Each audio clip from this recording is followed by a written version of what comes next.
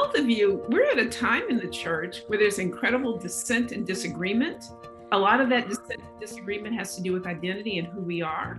Uh, what would you say about how we navigate that, uh, the differences? How do we navigate the differences and the dissent? I think part of the way we navigate any dissent or disagreement is to listen first. I think we listen first and we try to understand, you know, and we all know the the uh, adage, you know, God gave us two ears and one mouth in direct proportion to how much we should use them. And so to be inquisitive and to listen and to try to understand why people believe that before we get defensive, uh, to take the time to listen and to try to understand where the other person's coming from. I think we have to give people the benefit of the doubt. Uh, so we try to assume the best of the other person instead of the worst. And if, if we're going to have a meaningful conversation, if we're just going to try to persuade people of what we believe without, you know, without anything else, we just come up with our best arguments. But I find very few people are persuaded about you know really intense issues of disagreement simply by our persuasive you know by offering a better argument. It often has to do with relationships and with trying to listen and trying to understand and then having conversations where we share you know from our from our personal perspective.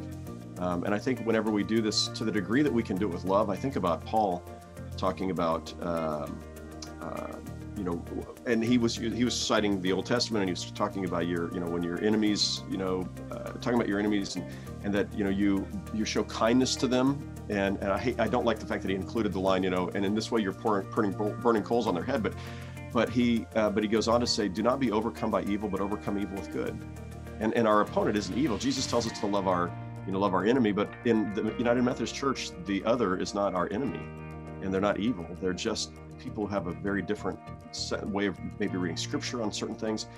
And so, what I want to try to do is to try to demonstrate love and kindness. And at the very least, uh, you might disagree with what I've said, and I might disagree with what you've said, but we've still tried to demonstrate what Jesus calls us to do, and that's to love, uh, love the other. And uh, that I think might hold hold the possibility of holding people together in tension, and actually learning and growing from the other, as opposed to um, just alienating each other. And that's really hard. And I haven't always done that perfectly either. There, there are examples where I've just gotten mad, mad and frustrated and, and, uh, and not always, and there are times I think you have to get mad and there are times where you have to say, this is just not okay.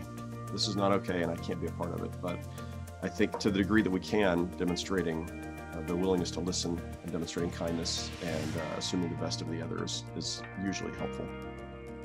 Elizabeth, what would you say about that?